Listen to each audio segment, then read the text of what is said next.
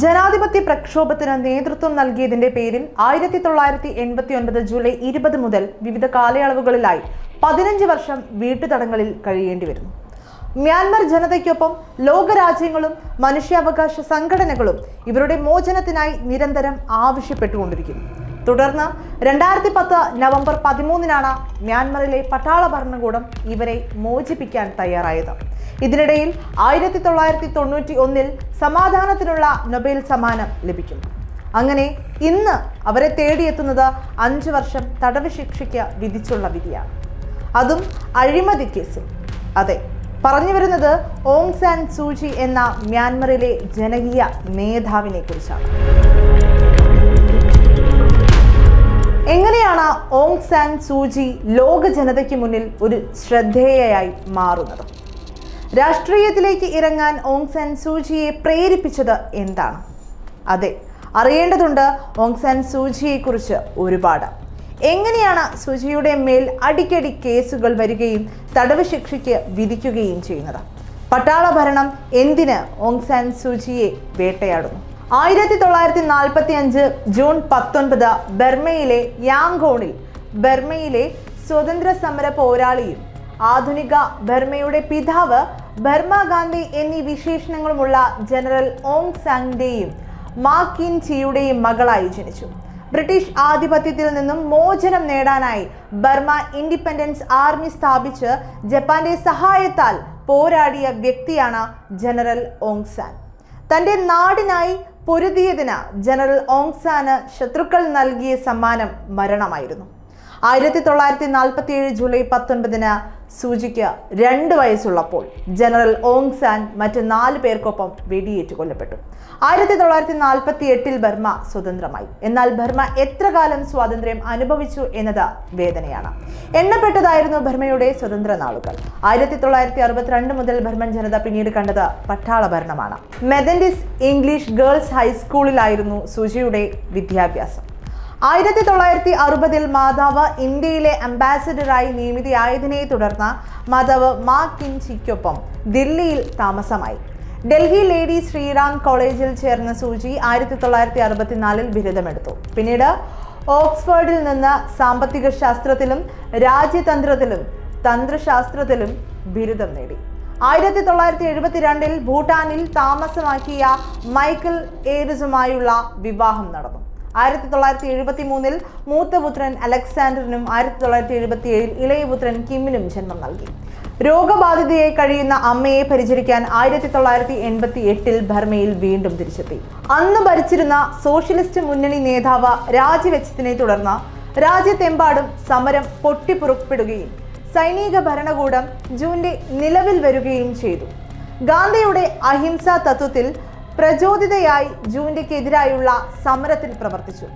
ആയിരത്തി തൊള്ളായിരത്തി എൺപത്തി എട്ട് സെപ്റ്റംബർ ഇരുപത്തിയേഴിന് ജൂൻഡയ്ക്കെതിരായി നാഷണൽ ലീഗ് ഫോർ ഡെമോക്രസി എന്ന മുന്നണി സ്ഥാപിച്ചു. ആയിരത്തി തൊള്ളായിരത്തി എൺപത്തി ഒൻപത് ജൂലൈ ഇരുപതിന് സേന ഭരണകൂടത്താൽ രാജ്യം വിട്ടു പോയാൽ സ്വതന്ത്രയാക്കാം എന്ന വ്യവസ്ഥയിൽ വീട്ടുതടങ്കലിൽ അകപ്പെട്ടു.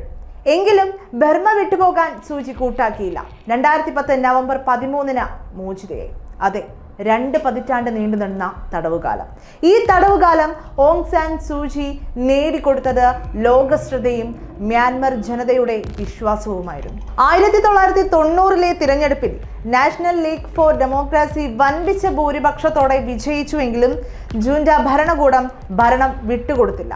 ഇത് അന്താരാഷ്ട്ര ശ്രദ്ധ പിടിച്ചു പറ്റുകയും അതിന്റെ പേരിൽ ന്യൂ ക്ലിക്ക് ആയിരത്തി തൊള്ളായിരത്തി തൊണ്ണൂറ്റി ഒന്ന് സമാധാനത്തിനുള്ള നൊബേൽ സമ്മാനം ലഭിക്കുകയും ചെയ്തു. സൂചിക്ക് വേണ്ടി അലക്സാണ്ടറും കിമും നൊബേൽ സമ്മാനം സ്വീകരിക്കുകയായിരുന്നു അന്ന് ചെയ്തത്. ആയിരത്തി തൊള്ളായിരത്തി തൊണ്ണൂറ്റി അഞ്ചിൽ വീട്ടുതടങ്കലിൽ നിന്ന് മോചിതയായി എങ്കിലും കുടുംബത്തെ സന്ദർശിക്കാൻ ഭർമ്മ വിട്ടുപോയാൽ തിരിച്ചു വരാൻ അനുവദിക്കില്ല എന്ന് ജുൻഡ ഭരണകൂടം വ്യക്തമാക്കി. ആയിരത്തി തൊള്ളായിരത്തി തൊണ്ണൂറ്റിയേഴ് ഭർത്താവ് മൈക്കിൾ രോഗബാധിതനായി കിടപ്പിലായപ്പോഴും അദ്ദേഹത്തെ പരിചരിക്കാൻ ലണ്ടനിൽ പോയാൽ തിരിച്ചു വരാനുള്ള വിസ ജൂൻഡ ഭരണകൂടം നിഷേധിച്ചു. പിന്നീട് സൂചി അദ്ദേഹത്തെ കണ്ടില്ല. മൈക്കിൾ ആയിരത്തി തൊള്ളായിരത്തി തൊണ്ണൂറ്റി ഒൻപത് മാർച്ചിൽ മരണപ്പെട്ടു. എന്നാൽ പൂർവാധീന ശക്തിയോടെ രണ്ടായിരത്തി പതിനാലിൽ സൂചിയുടെ പാർട്ടി അധികാരത്തിലേറി. പക്ഷേ അന്നുവരെ കണ്ട സൂചിയെ ആയിരുന്നില്ല പിന്നീട് മ്യാൻമർ ജനത കണ്ടത്. അധികാരം ലഭിച്ചതിന് ശേഷം ഏതൊരു സൈന്യമാണോ തന്നെ തടവറയിലേക്ക് അയച്ചത്? ഏതൊരു സൈന്യമാണോ അന്നോളം പ്രതിസന്ധി തീർത്തത്? അതേ സൈന്യത്തിന്റെ നിരുപാധിക വക്താവായി അവർ മാറുന്ന കാഴ്ചയാണ് പിന്നീട് മ്യാൻമർ ജനത കണ്ടത്. ജനങ്ങൾ അക്ഷരാർത്ഥത്തിൽ നിസ്സഹായരായ പോലെ നോക്കി നിൽക്കുകയായിരുന്നു പിന്നീടുള്ള നിമിഷങ്ങൾ. ഒരു വംശത്തെ തന്നെ തുടച്ചു നീക്കാൻ മൗനാനുവാദം നൽകുന്ന സൂചിയെയും ലോകം കണ്ടു. അങ്ങനെ കാലം കടന്നുപോയി. രണ്ടായിരത്തി ഇരുപത്തിയൊന്നിൽ പട്ടാളം വീണ്ടും സൂചിയുടെ കയ്യിൽ നിന്ന് ഭരണം പിടിച്ചെടുത്തു. പിന്നീട് ലോകം കാണുന്നത് തുടരെ തുടരെയുള്ള തടവ് ശിക്ഷയുടെ വാർത്തകളാണ്.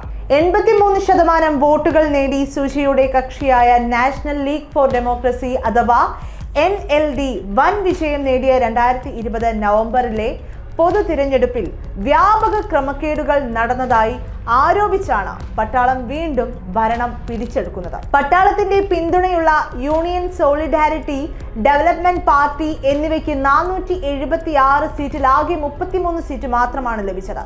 ക്രമക്കേട് നടന്നെന്ന പട്ടാളത്തിന്റെ പരാതി തിരഞ്ഞെടുപ്പ് കമ്മീഷൻ തള്ളുകയായിരുന്നു. പട്ടാളം ഭരണം പിടിച്ചെടുത്തു പക്ഷേ. ജനാധിപത്യ സർക്കാരിനെ അട്ടിമറിച്ചതിന് പിന്നാലെ രാജ്യത്ത് ഇന്റർനെറ്റ് ഫോൺ സേവനം തടയുകയും ചെയ്തിട്ടുണ്ടായിരുന്നു. പട്ടാളത്തിന്റെത് ഒഴികെ മറ്റെല്ലാ ടി വി ചാനലുകളും സംപ്രേഷണം നിർത്തിവെച്ചു. രാജ്യ തലസ്ഥാനമായ നെയ്പി തോയിലാണ് സൂചിയെയും എൻ എൽ ഡിയിലുള്ള മറ്റ് നേതാക്കളെയും തടവിലാക്കിയത്. സുജിയുടെ നേതൃത്വത്തിൽ പട്ടാള ഭരണത്തിനെതിരെ ദശകങ്ങൾ നീണ്ട പ്രക്ഷോഭത്തിനൊടുവിൽ രണ്ടായിരത്തി പതിനൊന്നിലാണ് രാജ്യത്ത് ജനാധിപത്യ മാതൃകയിലുള്ള ഒരു ഭരണരീതി ഉണ്ടായി വരുന്നത് രണ്ടായിരത്തി എട്ടിൽ സൈന്യം തയ്യാറാക്കിയ ഭരണഘടനാ പ്രകാരം പാർലമെന്റിൽ ഇരുപത്തഞ്ച് ശതമാനം സീറ്റുകൾ പട്ടാളത്തിനാണ്. സുപ്രധാന ഭരണ പദവികളെല്ലാം സൈന്യം കൈയാളുന്നുമുണ്ട്. അങ്ങനെ ഇന്നിപ്പോൾ വീണ്ടും സൂചിക്ക് തടവറകളിലേക്കുള്ള യാത്രയിൽ തന്നെയാണ്. സൂചിക്കെതിരെയുള്ള പതിനൊന്ന് അഴിമതി കേസുകളിൽ ആദ്യത്തിന്റെ വിധിയാണ് ഇപ്പോൾ വന്നിരിക്കുന്നത്. മ്യാൻമർ കോടതിയാണ് വിധി പറഞ്ഞിരിക്കുന്നത്. ഓരോ കേസിനും പരമാവധി പതിനഞ്ച് വർഷം വരെയാണ് ശിക്ഷാ കാലാവധിയുള്ളത്. കേസ് സംബന്ധിച്ച കോടതി വിചാരണകൾ റിപ്പോർട്ട് ചെയ്യുന്നതിൽ മാധ്യമങ്ങൾക്കും വിലക്കുണ്ട്. മാധ്യമങ്ങളോട് സംസാരിക്കുന്നതിൽ നിന്ന് സൂചിയുടെ അഭിഭാഷകരെയും മ്യാൻമർ കോടതി വിലക്കിയിരിക്കുകയാണ്. തടവറയ്ക്കുള്ളിൽ വീണ്ടും സൂചിയെ തളച്ചിടാനുള്ള പട്ടാള നീക്കമാണ് ഇപ്പോൾ മ്യാൻമറിൽ നടന്നുകൊണ്ടിരിക്കുന്നത്.